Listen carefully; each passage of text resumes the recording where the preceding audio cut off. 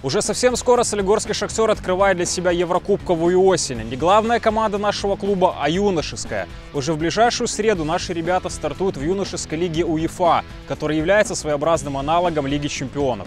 В этом сюжете мы расскажем все самое интересное в преддверии старта юношеской команды «Шахтер» на Евроарене.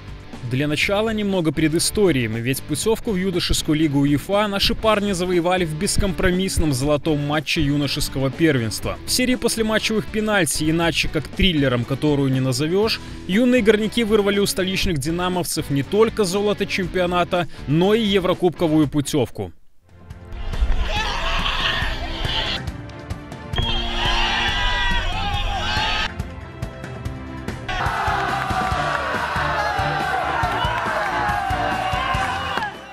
Волей жеребия в соперники по первому раунду нам достался один из многочисленных израильских клубов с названием «Макаби». «Шахтер» встретится с «Макаби» из Хайфы. Слову, взрослая команда, 12-кратный чемпион страны, а также первый израильский клуб, который пробился в групповой этап Лиги чемпионов. Один из самых знаменитых игроков команды Йоси Бинаюн. Также за Макаби из Хайфы несколько лет выступал белорусский футболист Андрей Островский. Правда, сейчас остались лишь воспоминания о былой славе команды из Хайфы. Посмотрим на будущее этого клуба, которое проэкзаменуют солигорские сверстники. Волнение всегда есть. Тут такая игра важная. Ну, уже два месяца настраиваемся, пытаемся как бы на нее. Ну, сейчас вот посмотрим, что они там, как играют. Пойдем, попробуем, посмотрим. Ну, конечно, немножко волнения есть. Это всегда мечтал, когда только начинал футбол играть, поиграть в Лиге Чемпионов. Ну, сначала вот хочется в юношеской сыграть, показать, посмотреть, как там вообще в других странах и люди играют, и какие у них условия вообще. Два месяца солигорские футболисты целенаправленно вели подготовку к Еврокубковой осени. Тренерский штаб ясно очерчивал приоритеты. Все готовятся, уже даже чемпионат Беларуси не настолько, уже даже вот кому-то отдыхать ну, дают, не дают играть всю игру, там, чтобы ну, перед этим матчем отдохнуть. Иван Давидович – один из лидеров юношеской команды «Шахтер», как и капитан Артем Рапейко. Молодые парни, безусловно, ставят во главу угла общекомандные интересы, но и прекрасно понимают, что показать себя в международных матчах и попасть на карандаш к скаутам – это тоже мотивация. Ну, мне кажется, лучше команда интересы, потому что если будем проходить дальше, и там будут дальше скауты смотреть за нами.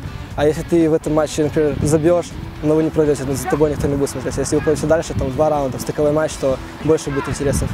Конечно, хочется всегда куда-то уехать, где-нибудь в другое место, поиграть, попробовать. Конечно, хочется, чтобы кто-то заметил, пригласил.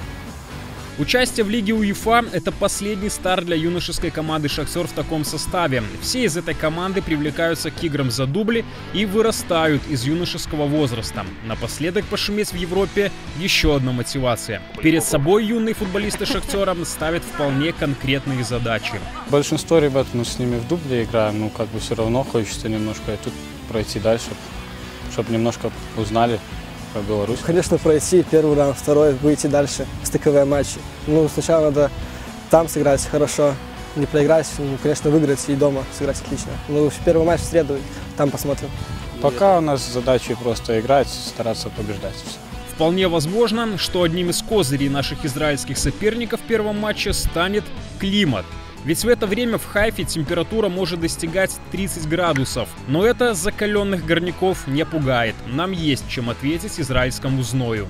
Ну, мы не раз уже играли, и у нас тоже летом бывает такая температура. Мы готовы играть, конечно. Но у нас погода летом тоже ну, не холодная, тоже и 30 было, и все. Ну, просто, что говорят, климат другой, может, поэтому, ну, я думаю, все равно в равных условиях, только, может, им привычнее, потом еще дома надо пускай тут попробуют в наши заморозки поиграть. Напомним, что ответный матч пройдет 19 октября на Солигорском стадионе «Строителем», а победитель нашей пары сыграет с лучшей командой из дуэта Габала «Динамо Москва». Итак, уже в среду 18.00 по белорусскому времени на берегу Средиземного моря, на земле обетованной в городе Хайфа, юношеская команда Солигорского «Шахтера» впервые в своей истории сыграет еврокубковый матч, который, все мы уверены, завершится для наших парней удачно. Мы постараемся, конечно, победить, порадовать болельщиков наших, показать игру хорошую и положительные эмоции, чтобы были у наших болельщиков. Болельщикам ждать победы? Конечно.